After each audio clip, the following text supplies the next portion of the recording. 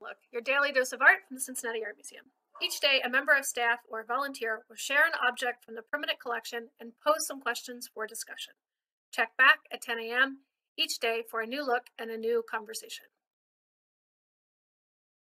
Hi, I'm Carrie Atkins Maras, Associate Director for Community Engagement at the Cincinnati Art Museum. I'm a Cincinnati native, and I really find it an honor to share the collection with the community.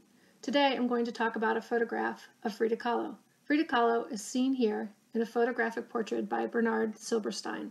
Silberstein was an engineer by trade, but he had a lifelong passion for photography. He taught photography at the University of Cincinnati and sold pieces to National Geographic and Life magazine, among others. Through a connection of his wife's, Silberstein was invited to Mexico to photograph Frida Kahlo in her home, Casa Azul.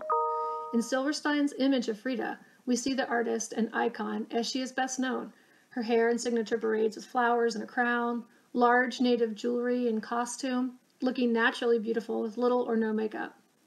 Here, Frida is portrayed against a very subdued, neutral background. She is looking off to the side of the frame and has a slight smile on her mouth, not unlike the one we see on Mona Lisa. We know so much more about Frida Kahlo. She was one of the first artists to actively cultivate an image and public persona and yet, there is still such an ongoing fascination with her, and still so much mystery about her. For me, that is what Silberstein captures in this photo.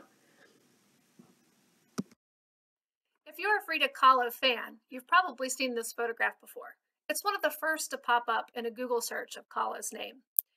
It's also a big part of an online exhibition that the Cincinnati Art Museum has posted in Google Arts and Culture. You can find the link in the Cam Look description here to find out more.